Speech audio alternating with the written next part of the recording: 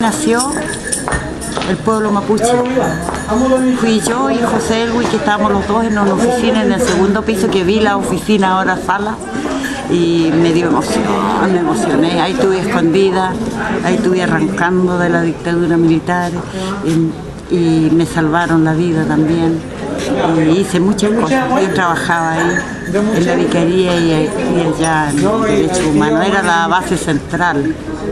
Entonces fue hermoso, hermoso, volver nuevamente a pisar donde yo pisé antes.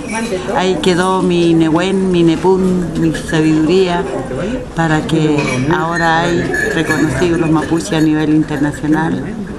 Y, lo que hay, pues, que nace una CEPI, nace una CONADI, nace una ley, nace un artículo 169, y eso es importante.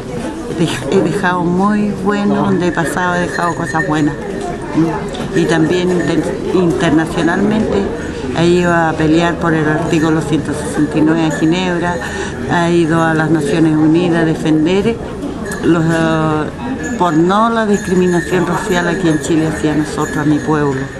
¿El pueblo jamás vencido? Nunca de rodillas, sí para una oración, pero no de rodillas. ¿ves?